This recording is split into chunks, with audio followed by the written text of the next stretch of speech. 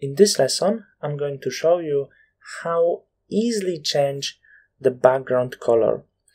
Just before we start, I want to remind you that I just posted my color grading course, so if you are interested, the link is in the description. And right now, let's start working with this image.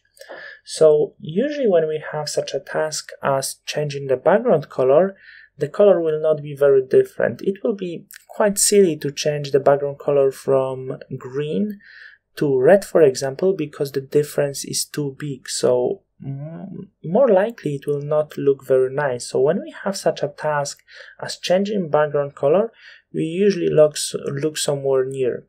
So if we're changing the color for rather similar color, there is a very simple way how to do this.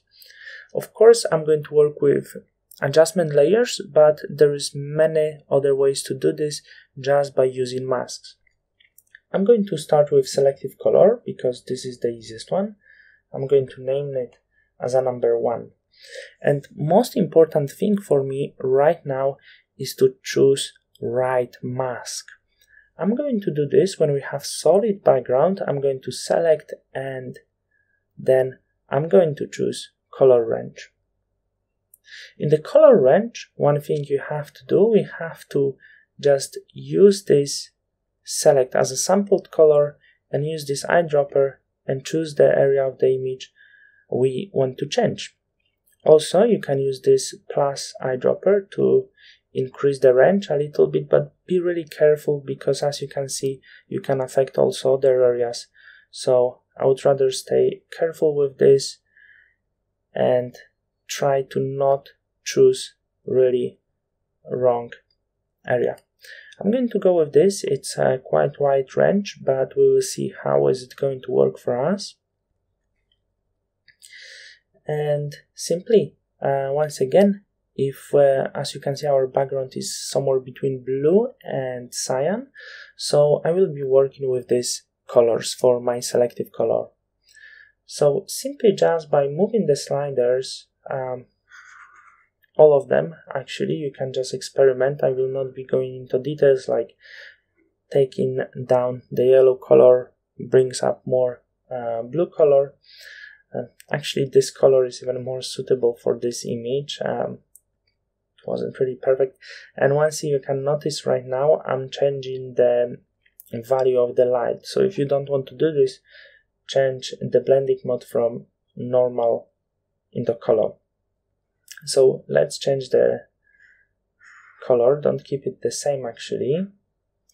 So just randomly choosing few also I'm going to play a little bit with cyan. And with these few simple steps we change the background color from blue to green. Uh, as I mentioned before you can take even more drastic changes um, but it's up to you how it's going to look later if it's going to be natural or not. Uh, if you I would like to do more changes I'll just press command and hit on this mask that is already made over here and then go let's say with color balance. I'm going to name it as a number 2 and work it with color balance simply with midtones uh, just to adjust my color even even better. We could even probably get some around the yellow, but it's very strong again, so change the color. Uh, better to be really careful with uh, color range. Um, I'm sorry, color balance, of course, because as you can see, the effect is uh, truly strong.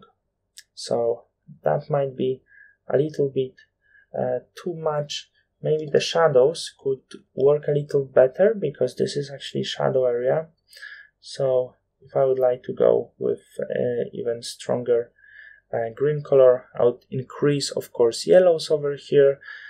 But this is uh, this would be up to you uh, the way you would like to go.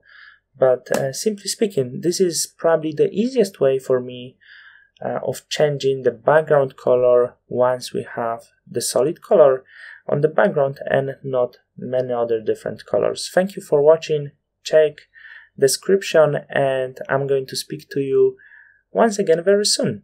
Thank you.